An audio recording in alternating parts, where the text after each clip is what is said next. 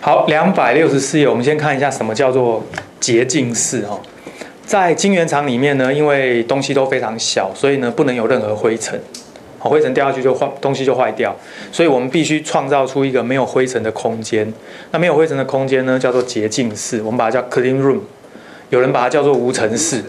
不过用你讲无尘室比较不合适啊，因为它不是真的没有尘，它只是灰尘比较少而已，所以讲洁净室是比较合理的哦。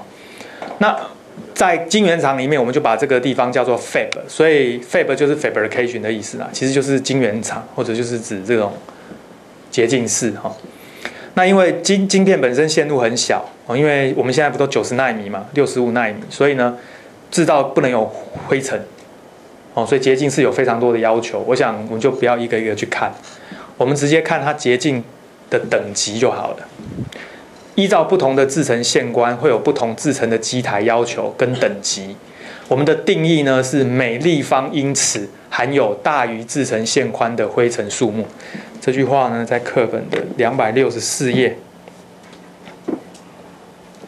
中间，每立方英尺含有大于制程线宽的灰尘数目。这句话听不懂，哎，没关系，解释一下，非常简单。看这边，每一立方英尺的空气含有一个灰尘的叫 class one，十个灰尘叫 class ten。所以，请问 class one 比较干净还是 class ten 比较干净？这样可以吗？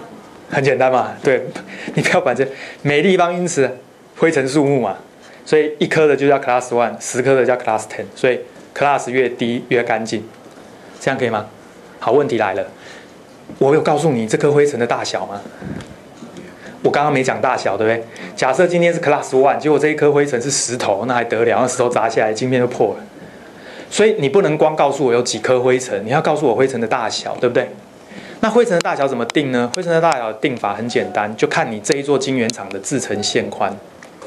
假设你这个晶圆厂的制程线宽是零点一三微米，是不是代表灰尘比零点一三微米还要小的就比较没关系，比零点一三还要大的就不行？听懂我这句话的意思吗？可以吗？那既然是大的不行，那你就要规定大的，大的不可以有哦。所以你看，所谓的 Class One 呢，以十二寸晶圆零点一三微米制成来定义的话，Class One 指的是每立方英尺。大于零点一三微米的灰尘，注意哦，大不行嘛，所以必须少于一个，这样可以吗？那至于小的呢？小的就无所谓了，马马虎虎了，这样可以吗？哦，同理，每立方英尺大于零点一三微米的灰尘少于十个就是 class ten，这样听懂意思哦？很简单啊，这大概知道就好。那还有一个重点就是。晶圆厂有四个步骤，我们待会马上要介绍这四个步骤，就可以生产出机体电路。这四个步骤分别是黄光微影、蚀刻技术、掺杂技术跟薄膜成长。这四个技术里面呢，只有黄光微影对于干净的要求度最高。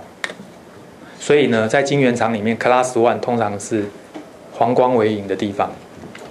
我待会再告诉你什么是黄光微影。那剩下三种技术呢，通常要求就比较没那么高，所以呢，Class Ten 就可以。当然，你也可以全部用 Class One，我没有意见，这样可以吗？但是你要记得，你的 Class 哦越小，是不代表越干净。那你要保持越干净，你的成本就会很高。你想想看，你必须把灰尘通通清掉，对不对？人员进出管制要很严格啊，全身要包得密不通风啊，要包成这样，有没有？好，只有眼睛露出来，剩下全部包起来，连手跟手是一定要包起来的，因为身体上那些小小的毛发就是污染。女生不准擦化妆品，因为化妆品就是粉。哦，都没讲过，我们不是介绍过陶瓷吗？什么是陶瓷？金属氧化物，对不对？